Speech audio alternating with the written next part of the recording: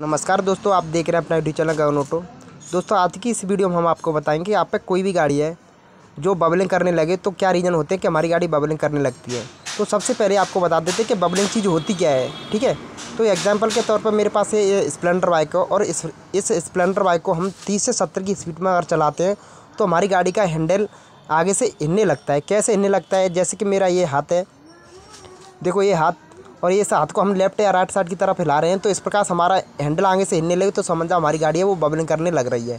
ठीक है तो आखिर बबलिंग करने क्या रीज़न होते हैं, इस वीडियो में हम आपको बताएँगे। वीडियो अच्छी लगे वीडियो लाइक कर दें। दोस्तों, पहला रीज़न हमारा हमारी गाड़ी बबलिंग करती है तो फ्रंट और रियर व्हील की बैरिंग चेक करना है। बैरिंग ख़राब तो नहीं है, क्या चेक करना है, आइए। तो सबसे पहले ये फ्रंट व्हील देख रहे हैं, इस व्हील को हमें पकड़ना है अपने एक हाथ से, इस प्रकार से एक हाथ से हमें पकड़ना है। और लेफ़्ट और राइट साइड। हमें हिलाकर देखना है कि हमारा टायर है, वो हिला है कि नहीं? अगर हमारा ये जो व्हील है, वो लेफ़्ट या राइट साइड हिल रहा है तो समझ जाओ हमारी बैरिंग है, वो ख़राब है। अब ये टायर नहीं हिल रहा है, इसकी बैरिंग है, वो हमारी बिल की बिल्कुल सही बैरिंग है, ठीक है? अब करते हैं हम पीछे पहिए को चेक दोस्तों, इसी प्रकार हमें पिछले पहिए को चेक करना है।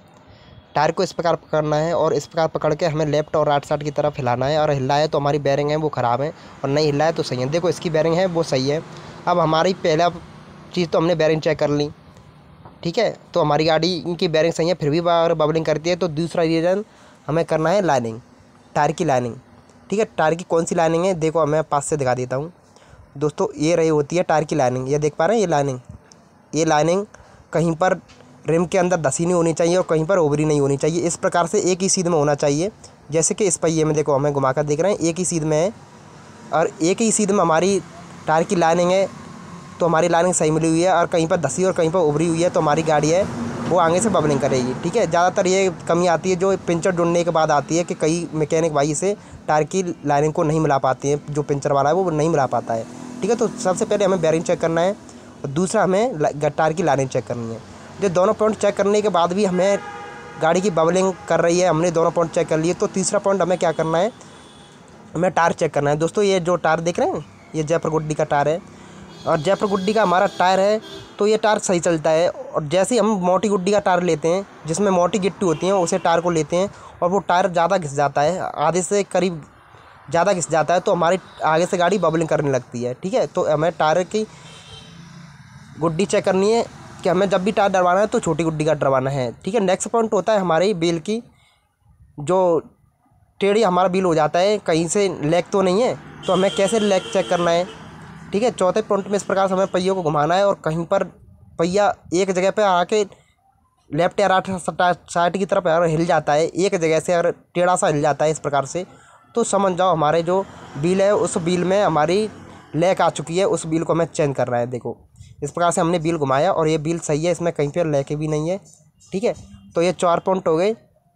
चारों पॉइंटों को हमने देख लिया, अच्छी तरीक़ा से हमने देख लिया, फिर भी हमारी गाड़ी है, वो बबलिंग कर रही है तो पाँचवा पॉइंट हमें क्या चेक करना है? टायर प्रेशर दोस्तों टायर की जो हवा होती है, उसमें टायर में अगर हवा कम होगी, फिर भी हमारी गाड़ी है, वो बबलिंग करेगी।